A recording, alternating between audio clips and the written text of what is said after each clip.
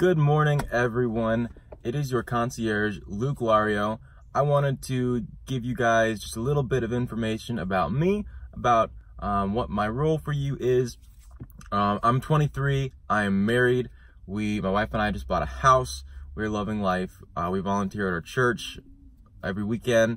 We love it. We're really, uh, really passionate about um, our faith and we love being a part of the church and getting to be a part of something bigger than us, getting to impact a lot of people, uh, which is similar to what I do with the core, obviously. Um, if you're new to the core or if you're new to level three, I want to make sure you know what my role for you is, which is as your concierge, I am going to be your eyes and ears at the core. I'm going to be your your lifeline. Um, anything that you need, if you're struggling with knowing how to fill out a form or you've got a question about something, or you just got some new tactics you're trying to implement and you want some help with that, I'm your go-to. So give me a call, shoot me an email, say, hey Luke, uh, I'm thinking about implementing a daily team meeting. I don't really do that, or I just want to get, I want to make that a little better. So can you send me some material on that?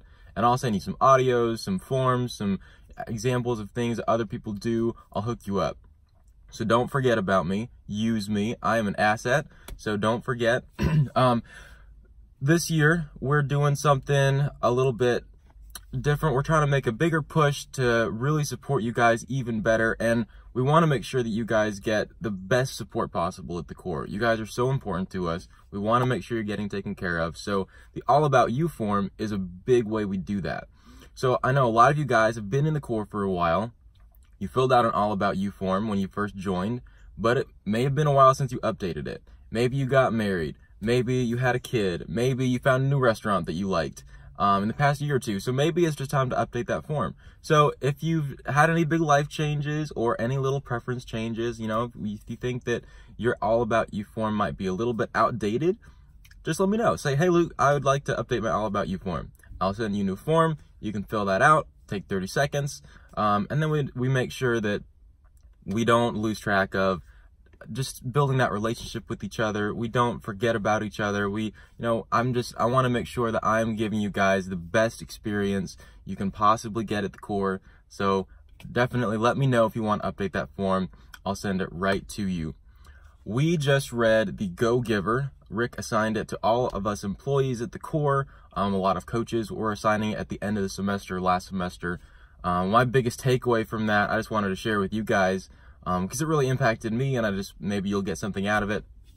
Uh, but I I was really impacted by the way that each and every character that uh, Joe, the main character, got to talk to about their businesses, about what made them successful, was uh, everyone that he talked to was massively successful, but every single one of them was extremely humble.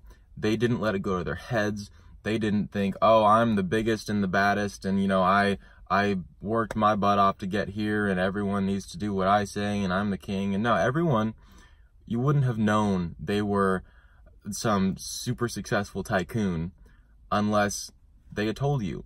They didn't carry themselves any differently. They didn't flaunt themselves or their money or their success. And that really inspired me because even, not that I'm some huge tycoon, but even at, you know, at 23 and and you know buying a house and it's easy to get prideful when you feel like oh i'm so much farther along than most people my age and that's so not true. I just i want to make sure that i'm checking my heart every day to make sure that i'm not coming across as being above someone else or feeling like i've got it all together because i don't. I mess up every single day. Um, so just staying humble really impacted me and the fact that each one of those characters was able to do that even though they were hugely successful. And I know each and every one of you is hugely successful right where you are, and you'll get more successful. Each and every one of you has the potential to go beyond what you can imagine and in your success, and you'll get better. And you'll see that this semester at the core, that you're going to improve, you're going to hit bigger numbers, you're going to be better, get better, do bigger things. And I just want to uh, remind you guys just to remember who you are and all that. Don't lose yourself in the chase. Don't lose yourself in the glitz and the glam and blah, blah, blah. Each and every one of you is awesome. Don't forget it. I'm super excited to work with all of you. Give me a call. I'd love to get to know you more if we haven't talked already. But I'll be seeing you guys at this Summit in May. Um, don't forget, the Mega is coming up in August. Send your people if you want to go. Make sure you're getting people to the Mega. We can't wait to pour into them. Have a great week, guys. I'll talk to you soon.